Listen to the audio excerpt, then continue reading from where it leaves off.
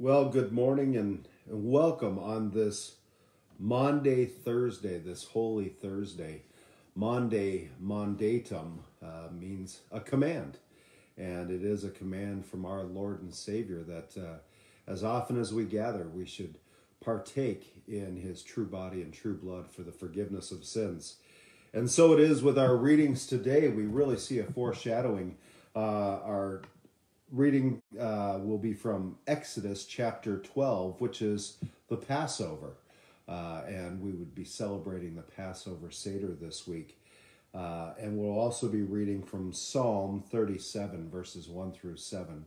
But we're going to really take a look at the foreshadowing of the covenant meal that God gives to Israel in Exodus, Exodus 24, and also that covenant meal uh, that Jesus gives to us on that um, Maundy, Thursday, that uh, night in which he was betrayed. And so let us begin this morning as we uh, open with prayer, but I would like to open, as opposed to our morning prayer, uh, let's open this morning with the Lord's Prayer. Please join along. Our Father, who art in heaven, hallowed be thy name. Thy kingdom come, thy will be done, on earth as it is in heaven. Give us this day our daily bread, and forgive us our trespasses, as we forgive those who trespass against us. And lead us not into temptation, but deliver us from evil. For thine is the kingdom, and the power, and the glory, forever and ever. Amen. Well, again, our first reading then today, if you're joining along on your in your Bibles, is uh, Psalm 37, verses 1 through 7. Fret not yourself because of evildoers. Be not envious of wrongdoers, for they will soon fade like the grass and wither like the green herb. Trust in the Lord and do good.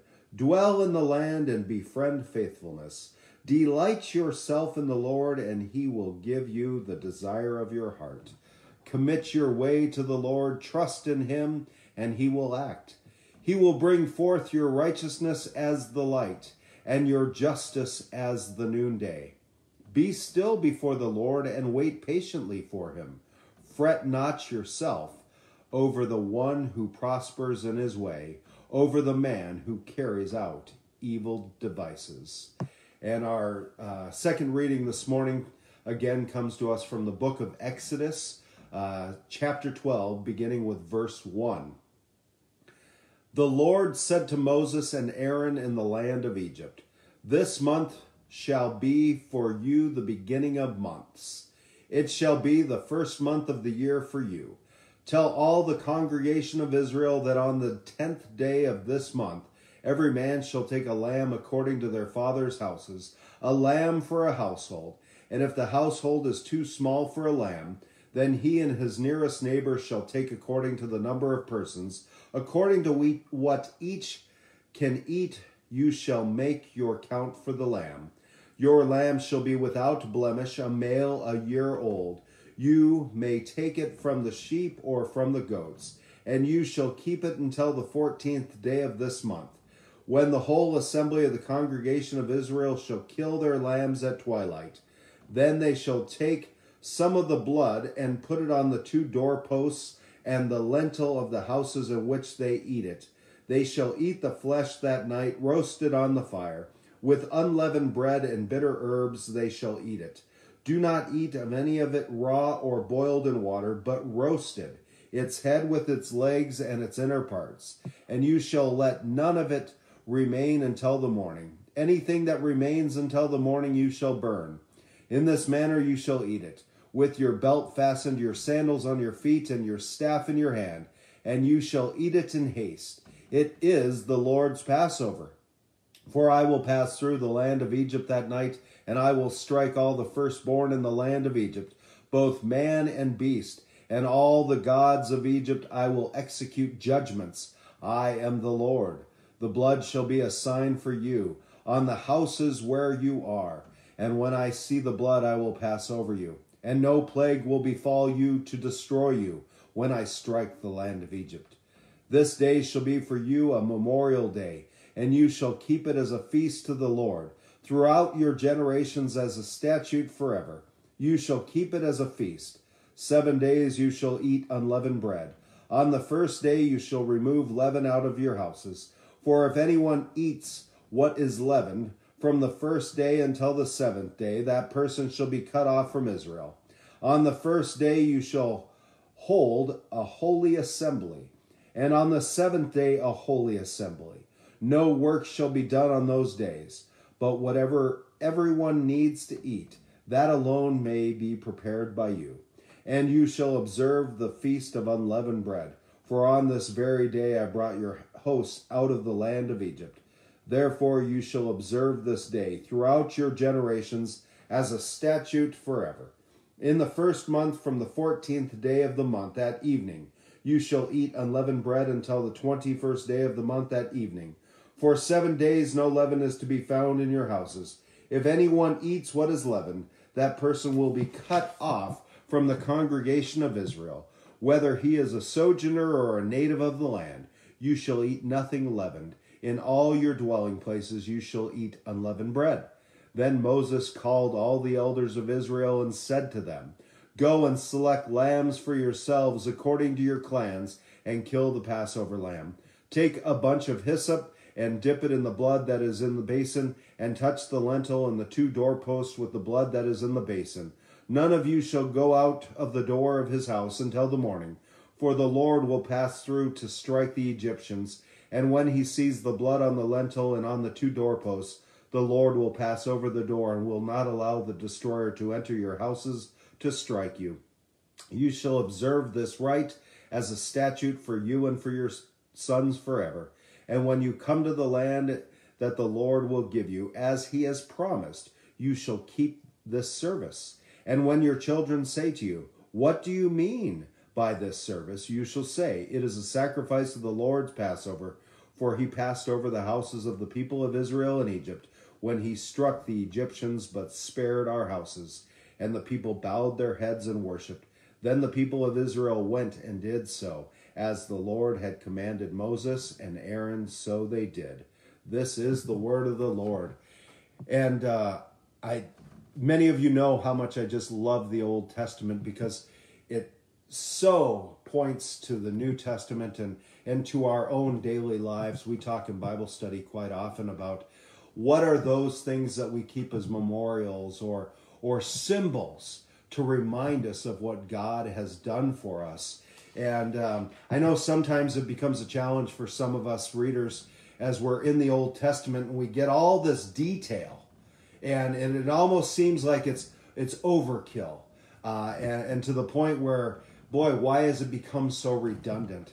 And how beautiful is it that God would give us so much detail as He's preparing us for the coming of His Son, and and we see uh, the the um, Christological nature of what's taking place in this reading because it points to the meal, the covenant meal that that God is going to give to Moses uh, in Exodus chapter 25. It also points to that covenant meal uh, that Jesus gives to us on this night, this this Maundy Thursday, that command uh, for us to gather together and as often as we do to partake in this meal in remembrance of him and what he's done for us.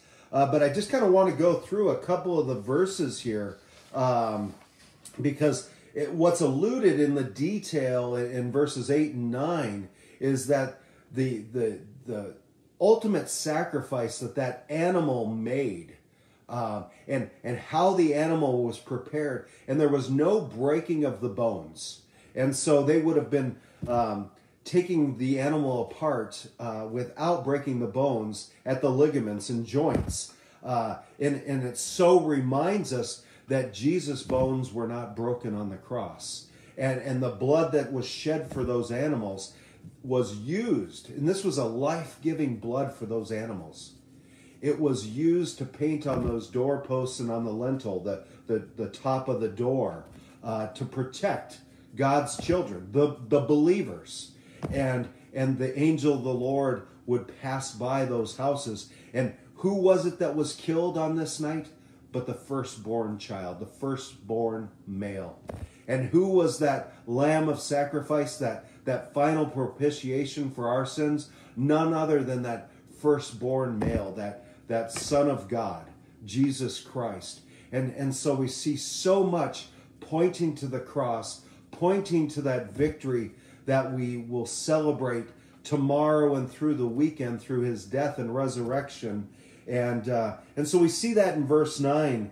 Uh, but then in verse 11, um, we hear from Moses, In this manner you shall eat it with your belt fastened, your sandals on your feet, and your staff in your hand.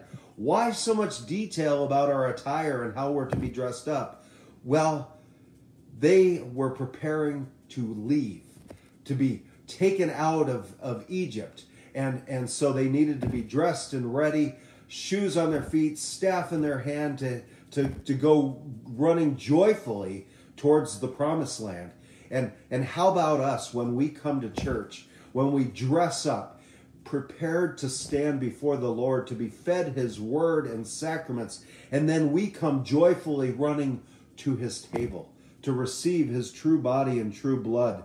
And then we continue as we go on to verse 12, uh, that it to verse 12 says, I will strike all the firstborn in the land. And again, we kind of talked about the firstborn male and how Christ was struck down for us. And then there's this sign in verse 13 The blood shall be a sign for you on the houses where you are, and when I see the blood, I will pass over you. That very same blood was sprinkled upon us in holy baptism.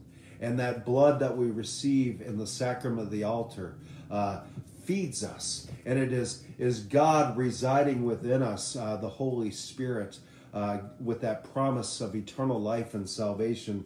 And so that anger, that wrath of God, which is justifiable, he passes over us because of the blood that Christ shed because of the sprinkling of the water that was poured on us.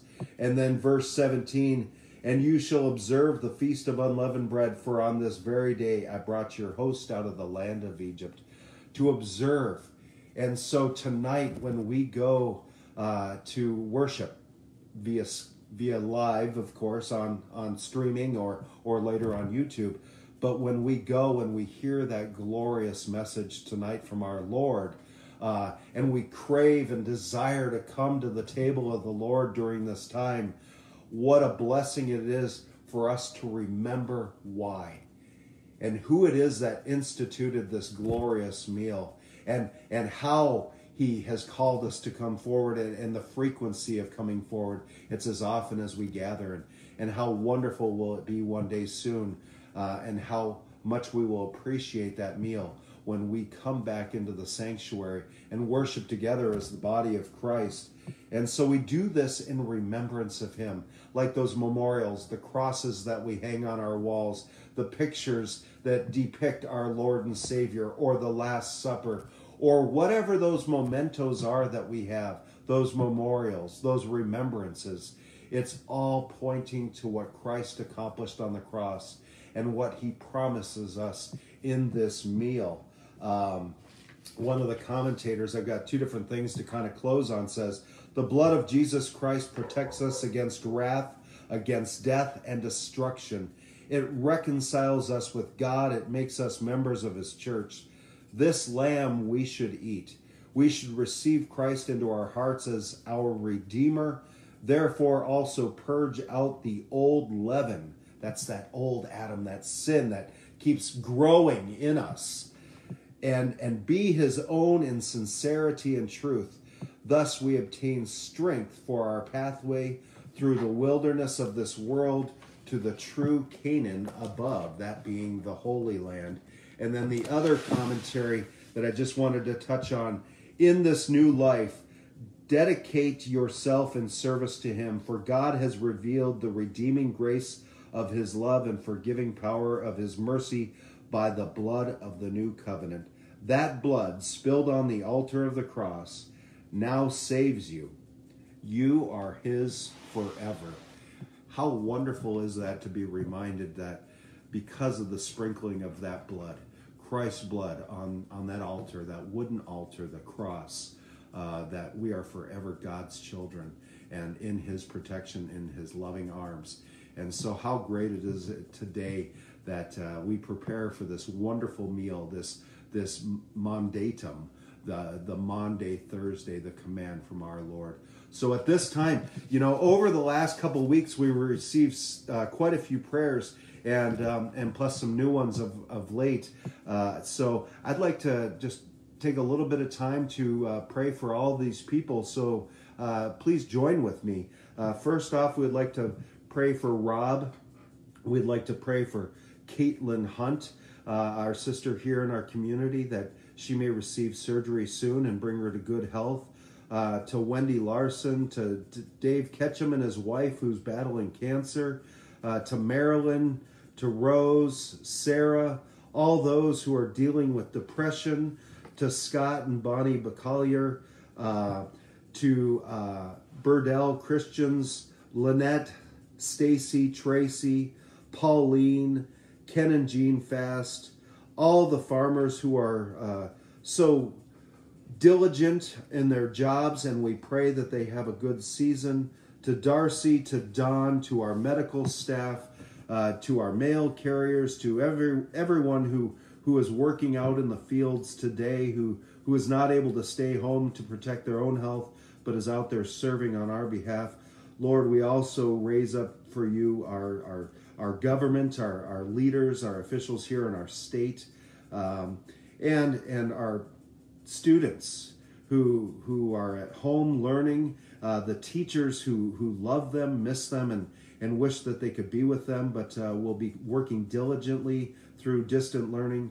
Uh, we we also pray for our parents, our grandparents, and all those who are separated from loved ones. Uh, Lord, we come to you this morning in prayer, and so we we thank you for what you've given to us. And uh, we say, O oh Lord, in this wondrous sacrament, you have left us a remembrance of your passion. Grant that we may so receive the sacred mystery of your body and blood, that the fruits of your redemption may continually be manifest in us. For you live and reign with the Father and the Holy Spirit, one God, now and forever. Amen. Well, brothers and sisters in Christ, thank you so much for being with us this morning and and uh, I look forward to seeing you all tonight as we celebrate the command that uh, Maundy Thursday, that blessed meal that Christ so graciously gives to us. So go in peace today and serve the Lord. Thanks be to God.